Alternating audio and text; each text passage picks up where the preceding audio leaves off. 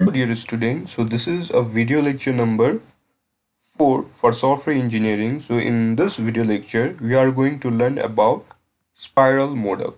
So this spiral model is the one of the most important software development lifecycle model which provide support for risk handling. So this spiral model support the risk handling. All other models we have studied till now doesn't support the risk handling but this model known as the spiral model is capable of handling leaks. In its diagrammatic representation, it looks like a spiral with many loops. The exact numbers of loop of this spiral is unknown and can vary from project to project. So in this diagrammatic representation, the spiral model, uh, this spiral model is divided into four quadrant. Quadrant number one, quadrant number two, quadrant number three, and quadrant number 4. This model is called the spiral model because the progress and the cost are represented in the form of this type of spiral or loop. So in this spiral model, the first phase is known as the objective determination and identifying alternate solution. So in this first phase or in this first quadrant, we need to identify the objectives of the project and need to, and need to determine the different alternative solution to identify to sorry to different alternative solutions to solve that problem. So in the first quadrant, we need to identify our objective and need to need to formulate the different solutions for solving that or to achieve that objective.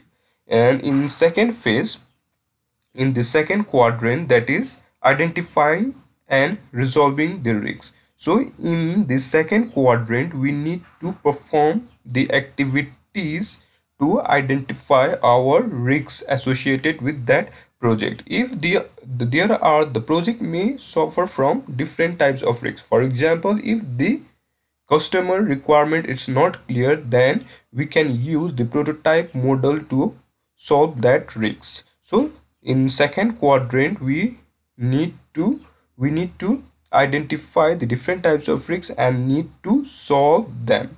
After second quadrant we move to third quadrant. In this third quadrant, we need to develop the next versions of product. So after successfully resolving the risks, then we need to develop the next versions of the product. Then we need to show that product to our customer and review that product whether it is whether it is working according to our plan according to our functional requirement or not. Then we need to discuss the different strategy. If the project is well enough and and well enough and customer accept that project then we can end the project otherwise we need to repeat the iteration until the project has been successfully completed. So this this number of loops or these iterations it's depend upon project to project. So this radius so this radius of spiral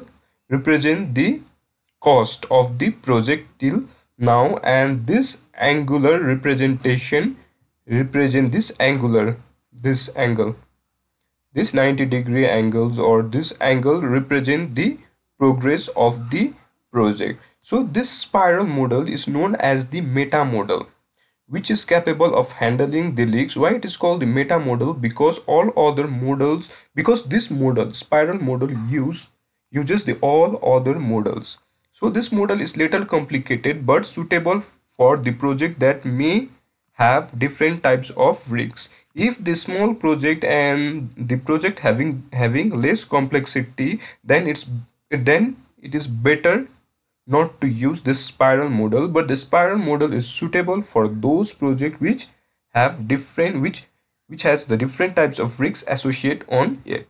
So the spiral. So in simple word, spiral model is one of the most important software development lifecycle model which provide support for risk handling.